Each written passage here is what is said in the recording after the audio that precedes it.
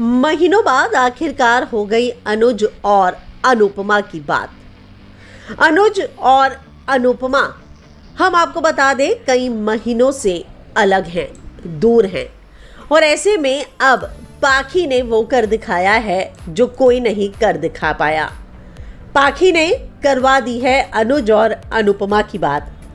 जैसे ही पता चला पाखी को कि अहमदाबाद जाकर भी अनुज ने बात नहीं की है।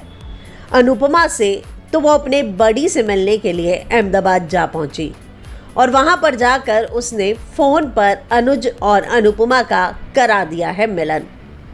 क्या बात हुई है इन दोनों की और कौन से? वो तीन शब्द थे जिसको सुनकर अनुपमा के पैरों तले ज़मीन खिसक गई। अनुपमा को अपने कानों पर विश्वास नहीं हुआ और अनुपमा के आँसू छलक पड़े। आखिर ऐसा क्या कहा अनुज ने अनुपमा को? हम आपको बताएँगे टीवी तमाशा पर। लेकिन अगर आपने हमारे चैनल को सब्सक्राइब नहीं किया तो सबसे पहले सब्सक्राइब कर लीजिए। बाकी पहुँचती ही है अनुज के घर कि उसे अनुपमा का फ़ोन आ जाता है। वो फ़ोन पर उससे पूछती है कि आखिरकार वो डॉक्यूमेंट्स कहाँ हैं। और इसी बातचीत के दौरान उसे पता चलता है कि पाखी बडी के पास है। फिर क्या था? पाखी कहती है, अनुपमा को कि मैं मुंबई बडी के पास आई हूँ। क्या आप बात करोगी? और वो फ़ोन कहती है कि स्पीकर पर ही रखा है। अनुपमा चुप हो जाती है और उसकी आँखों से टप टप आँसू बह रहे होते हैं।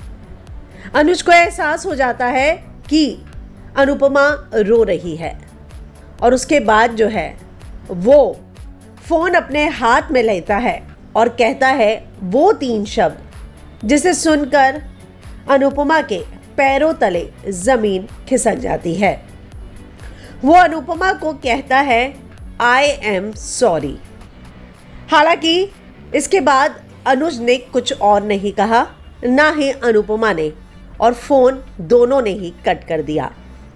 लेकिन अनुज ने अनुपमा को सॉरी कहा है। उससे माफ़ी मांगी है और अनुपमा जानती है कि सॉरी के पीछे का क्या है कारण। क्यों अनुज उसे सॉरी बोल रहा है? किस बात का पछतावा है अनुज को? और क्यों अनुज उस दिन बिना मिले ही उससे निकल गया? और अब हम आपको बताते हैं कि बहुत जल्द जो है इन दोनों का मिलन होने वाला है। कैसे होगा ये मिलन? वो भी जानने के लिए आप बने रहिए हमारे साथ। लेकिन अगर आपने हमारे चैनल को सब्सक्राइब नहीं किया तो सबसे पहले सब्सक्राइब कर लीजिए।